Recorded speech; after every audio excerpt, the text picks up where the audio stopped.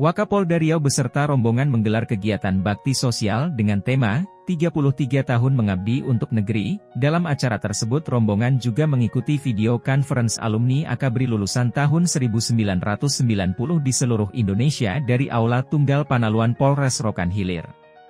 Kunjungan ke Polres Rohil, Wakapolda Riau Brigjen Pol Karahmadi beserta ibu dan diikuti rombongan di antaranya KA Binda Provinsi Riau, Brigjen TNI R Wibisono Hendroyoso, KABNNP Provinsi Riau Brigjen Pol Robinson DP Siregar, Kabit Humas Polda Riau Kombes Pol Heri Harwono, Agen Intelijen Kepolisian Madya Tingkat 1 Baintelkam Polri Kombes Pol Trijan Paisal, Kabit TK Polda Riau Kombes Pol M. Hashim Risahon II, Dirpol Airut Polda Riau Kombes Pol Wahyu Prihatmaka, serta Auditor Tingkat 1 Madya Ituasda Polda Riau Kombes Pol Rudi Abdi Kasenda.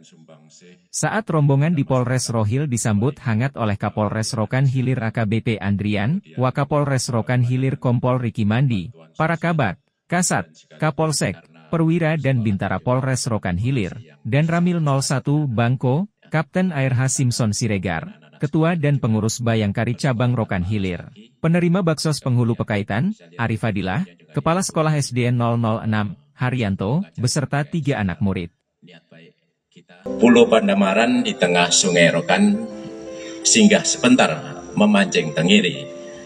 Bakti sosial gelar 90 kita laksanakan semakin jaya mengabdi untuk negeri. Terima kasih dengan adanya program bakti sosial gelar 90 ini mudah-mudahan sebagai penggerak untuk kemajuan pendidikan di Kecamatan Pekaitan khususnya di SDN 006 Pekaitan dari Rokan Hilir Riau, tim liputan melaporkan.